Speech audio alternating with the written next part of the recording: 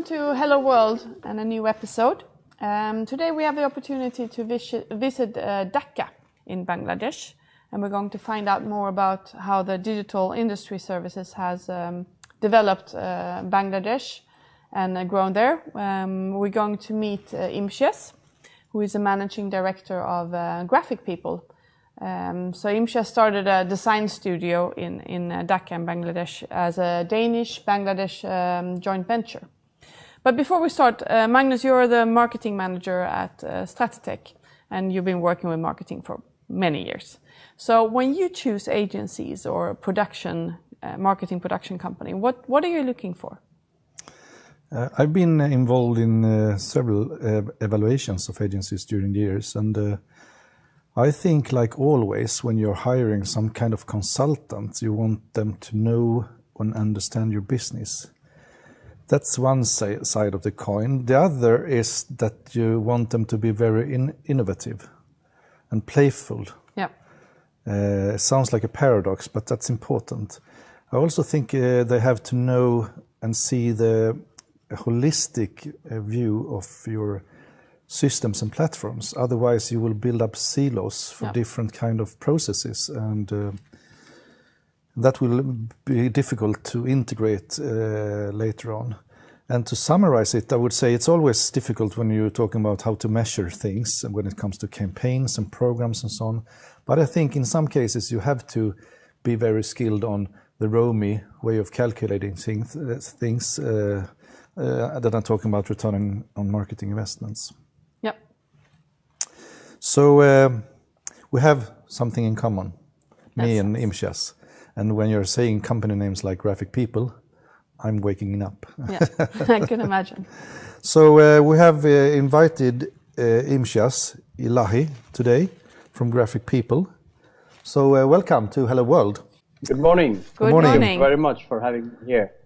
You just told us that you are five hours before us and you have a warm and rainy weather in Bangladesh. Absolutely. Yeah, and we are Very hot and rainy weed- season right now here. So uh, you are the managing director of the company Graphic People, and you are located with your head office in Dhaka in Bangladesh. Uh, you have built a world-class studio with uh, approximately 250 employees. Could you share with us how the offering is looking like and the advantages for clients investing in your services? Absolutely. Um, so Bangladesh doesn't ring a bell when you talk about outsourcing to anybody. To tell you frankly, you know, when we talk about outsourcing, people talk about think about India Yeah. first, then probably Philippines, or if it's near shore, like it could be Poland or uh, Czech Republic. But why Bangladesh and why it's here and how we connect to the uh, global industry is a very interesting story. Uh, in your introduction, you did say about um, you know it's a joint venture. So yes, uh, we were very lucky to have a Nordic partner based in Copenhagen, and we also have a Bangladeshi uh, partner uh, which came in and they together decided to take a leap into the digital era back in uh, 2004 when we were still connected uh, with a VSAT satellite. You know, you can imagine back in those days, like you know, doing simple things used to be a big effort where you upload or download files. But I guess it was a vision that kind of um, kickstarted this company. Um, and we, I'm part of a very uh, capable team which has been um, behind this operation for last 15 plus years and bringing up to where it is today, and offering uh, services uh, mainly for advertising industry. Uh, so we are kind of an agency which specializes in campaign deliverables uh, for agencies around the world, and um, we have uh, the uh, we had the opportunity, or still have the opportunity, to work with some of the biggest brands providing digital services um, and also um, offshore IT development services from Dhaka, Bangladesh. Yeah. So one of your clients is one of Sweden's biggest uh, companies. In, in Without in saying the name of it. You can. No, I saw that IKEA was one of your clients, Yeah, yeah. Uh, and. Volvo as well.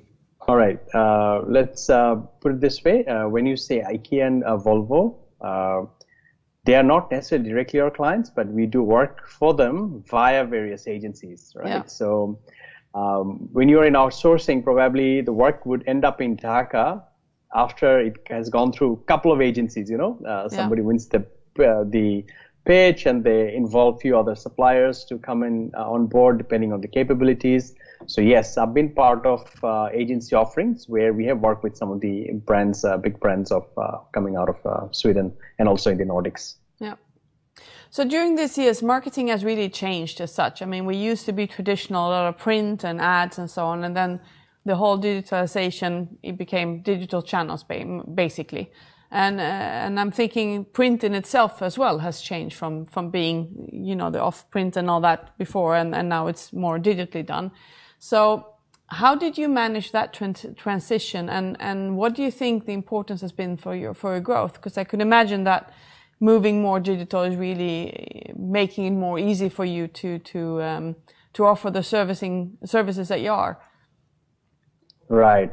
So I think, uh, I mean, this transition has been uh, very much part of our journey because when we started the operation, back in early 2000, you know, industry was still predominantly print driven. A lot of ad spend was uh, in press, uh, probably in television also, but not that much in the um, on the digital side of things, in website um, or in trying to be innovative when you are using this this channel to reach out to your prospective customers. So we have seen this change taking place in the industry. Uh, when when we set up the operation in 2004 we set it up as a print production studio, you know, desktop publishers, graphic designers working on pre-press um, deliverables.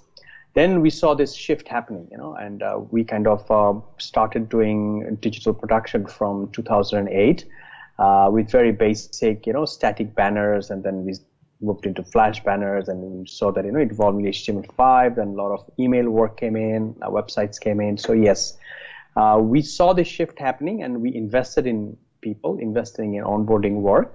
But at the same time, as I mentioned earlier, you know, being in Bangladesh, we were not blessed to have the best uh, uh in class when it comes to uh, IT infrastructure.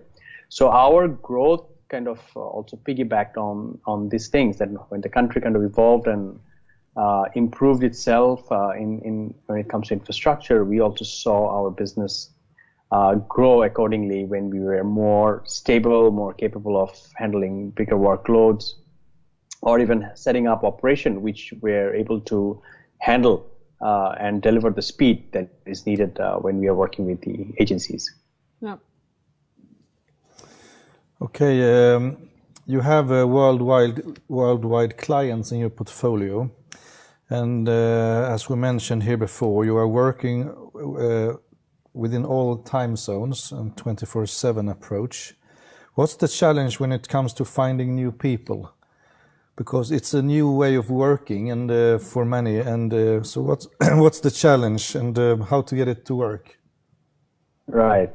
So I think I mean you know when when we uh, work here in Bangladesh and we work for countries not in this region, rather in a different time zone altogether there are challenges. You know, there are challenges uh, because when we are closing office, we see US opening up, or when we're midday, we see Europe opening up, or even when we're working for clients in APAC, uh, you know, we come into office when half of their day is gone. Yeah. So in order to remain connected and in order to remain seamless, uh, it, there is no other option but to be flexible uh, when we approach these time zone challenges.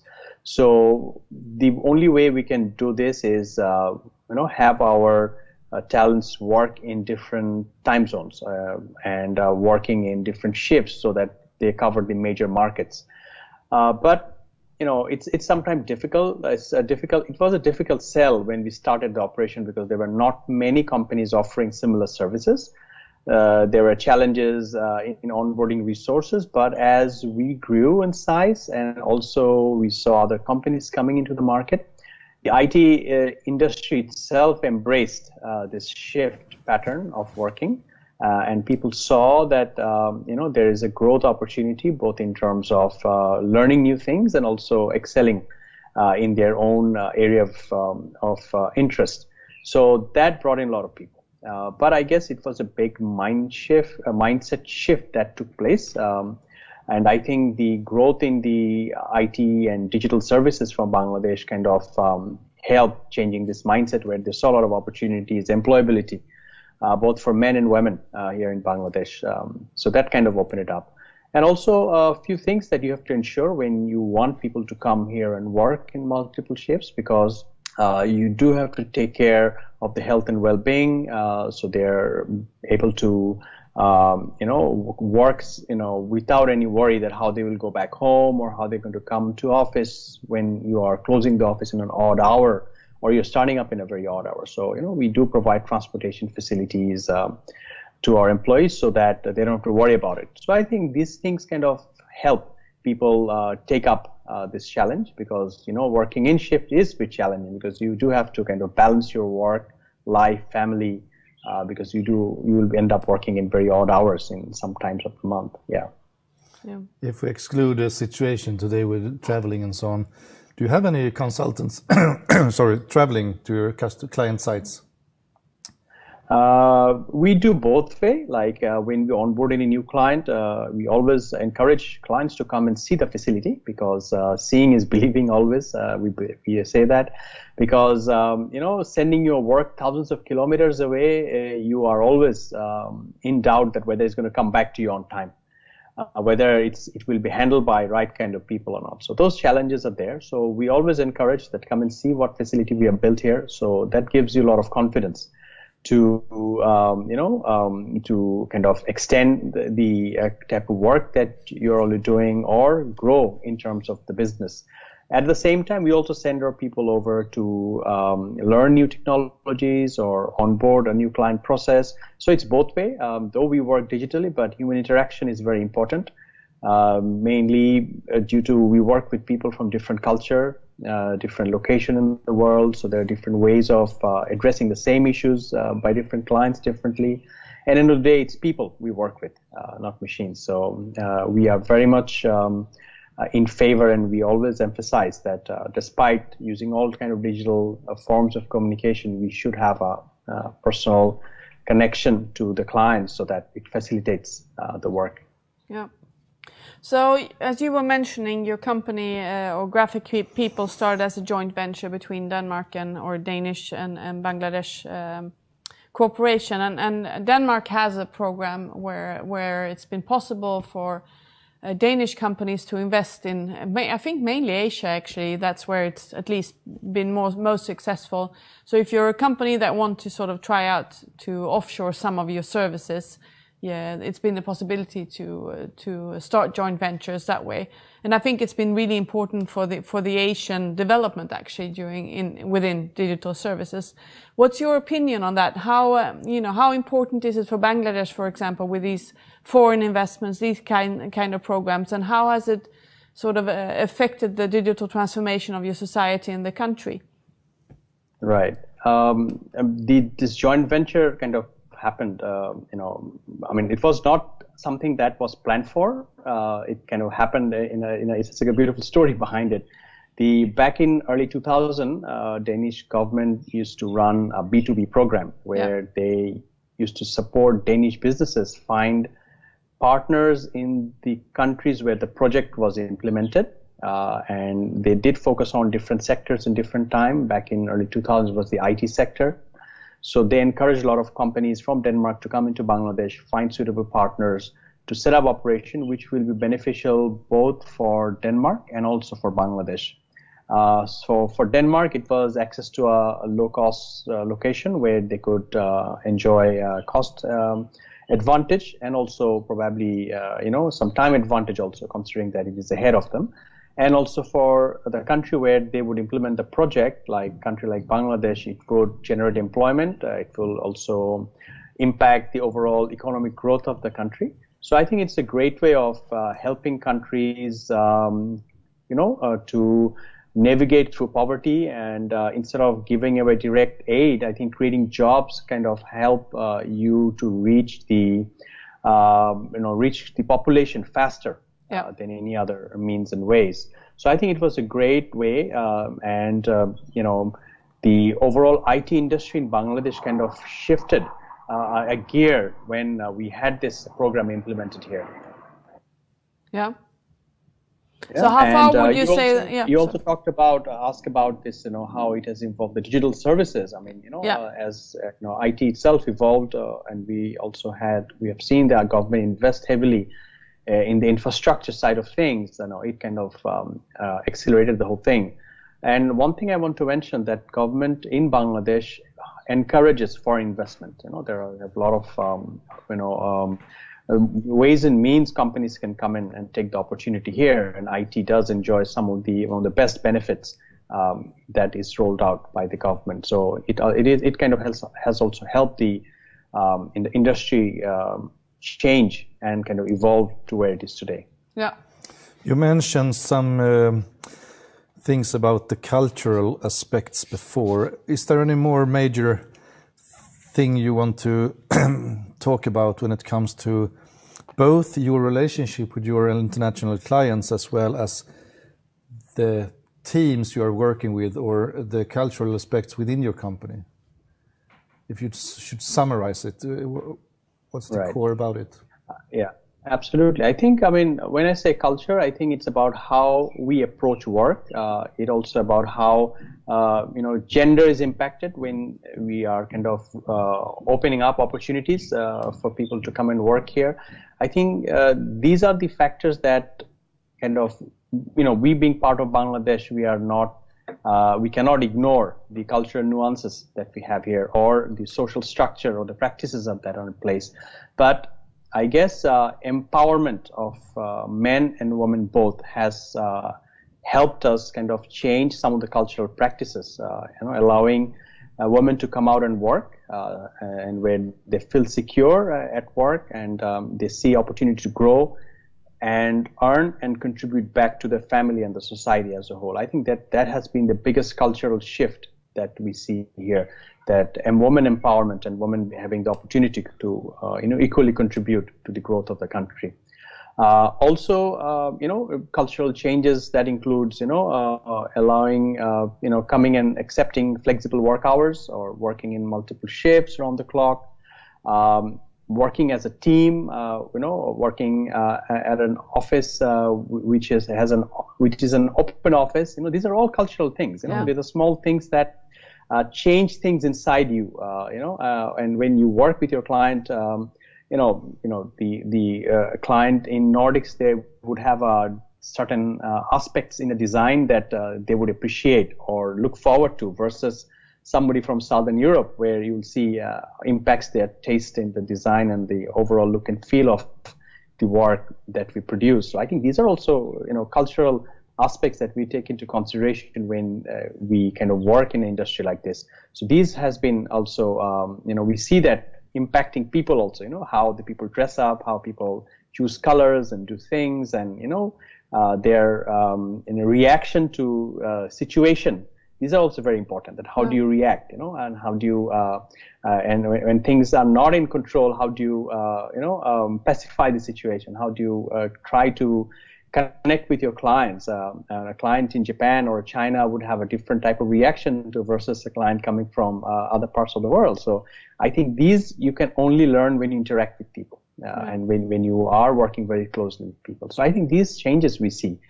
Um, another thing I want to mention that like in our office, uh, it's an open office. It's a very uh, flat organization where people uh, of, of all, um, I would say, um, all kind of uh, um, their role in the company uh, would enjoy the same benefits or enjoy the same facilities in office, which is also a big cultural shift. Uh, in a society like Bangladesh, like in, in, many other Asian countries, very hierarchical. Yeah. So breaking down these mental barriers uh, is a big cultural shift that we feel that we always try to do here. Yeah, I'm I'm really fascinated. I, I mean.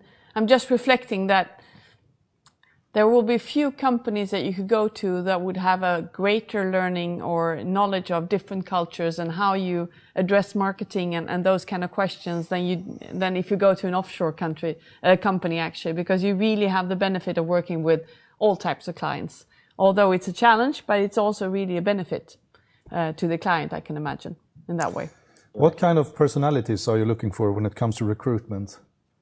I mean, competences uh, uh, is one thing, but when it comes to personalities, to uh, fit into this setup you're talking about, this uh, environment.